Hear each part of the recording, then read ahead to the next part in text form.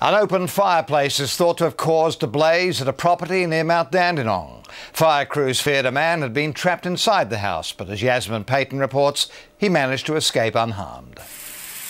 An open fire on a winter's night costs one man his home.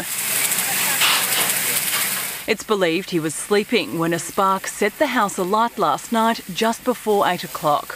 Fire crews and neighbours feared the man was trapped inside. The whole house is on fire. Um, we couldn't find the bloke whose house it was. Initially, there was the chance that the occupant was missing. Fortunately, he made it out before the flames swept through. Very distressed, but at the end of the day, it's a good result. He's safe and sound um, and he's now been taken away to be assessed by the ambulance. He's just got, apparently got a few scratches and bruises. It took just half an hour to reduce this one-storey weatherboard to smouldering rubble. 30 firefighters tried to save it but couldn't.